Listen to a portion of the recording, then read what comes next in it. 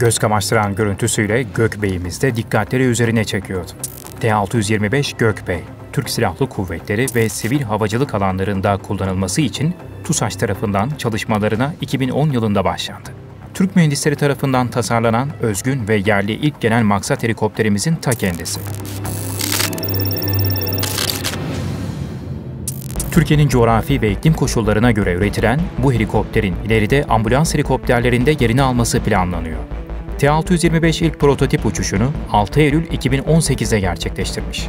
Nisan 2023 tarihinde ise TEİ tarafından üretilen yerli ve milli ilk helikopter motorumuz olan yeni nesil TS-1400'e ilk test uçuşunu başarıyla tamamladı. Dolayısıyla şunu da rahatlıkla söyleyebiliyoruz.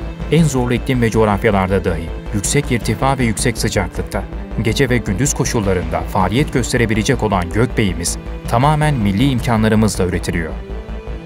Bu helikopter aynı zamanda gelecekteki operasyonel gereksinimler de göz önünde bulundurularak tasarlanmış. Dolayısıyla yüksek yük kapasitesine sahip geniş kabin alanıyla dünyanın dört bir yanındaki sivil ve askeri görevleri rahatlıkla icra edebilecek konumda. Yazılımı da TUSAŞ tarafından geliştirilen otopilot sistemine sahip.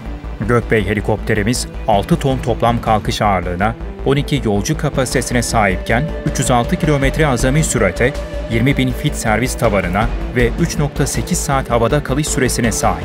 Eğer harici yakıt tankını bu denkleme dahil edecek olursak, o zaman 5 saat daha havada kalırken azami 948 kilometrede menzile ulaşabiliyor. Mürettebat sayısı 2 kişiden oluşan helikopterimizin uzunluğu ise 15.87 metre olarak ölçülüyor.